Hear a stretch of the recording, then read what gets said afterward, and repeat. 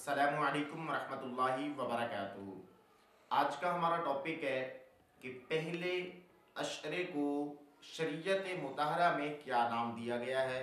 इसकी दुआ क्या है? और इसकी दुआ की फजीलत क्या है?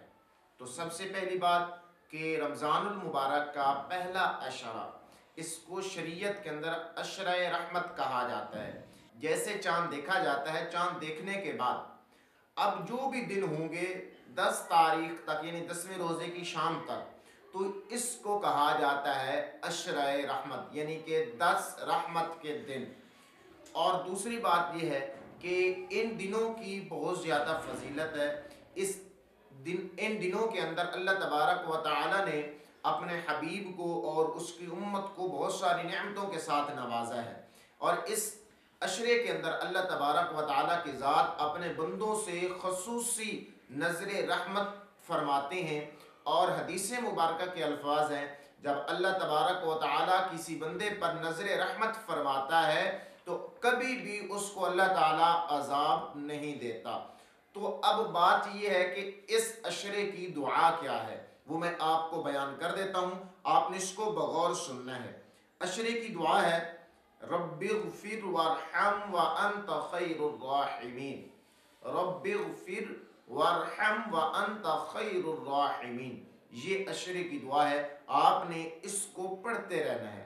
अब इसका मायना क्या है? मायना ये है कि ए हमारे रब, मुझे बख्श दे, मुझ पर रहम फरमा, और तू बेहतरीन रहम फरमाने वालों में से है।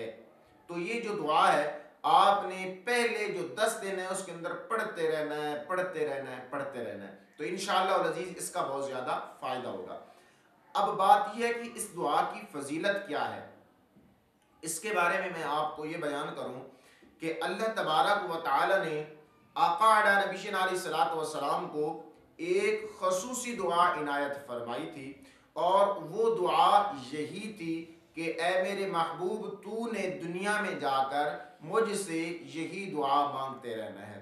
और कराम सूफियाए आप बयान फरमाते हैं कि जब अल्लाह तबारक व ताली की बारगाह में इस दुआ को बार बार पढ़ा जाता है, बार बार पढ़ा जाता है तो अल्लाह ताला की ज़ात उस बंदे से खुश होते हैं और खुश होकर उसकी बख्शिश फरमा देते हैं। तो मालूम ये हुआ कि माह रमज़ान मुबारक की पुरनूर फ़िज़ाओं में पुरनूर बहारों में और उसके पुरनूर एक लम्हात के अंदर हमें चाहिए कि हम इस पुरनूर दुआ को पढ़ते रहें और इसको अपने विरद में शामिल कर लें। तो इन अज़ीज़, आपको बहुत ज़्यादा फ़ायदा होगा। अगर आपको वीडियो अच्छी लगी है तो इस वीडियो को लाजमी तौर पे लाइक कीजिए। चैनल पे रहें तो चैनल को लाजमी तौर पे सब्सक्राइब कीजिए। वालेकुम वरहमतुल्लाहि वबरकातुहू।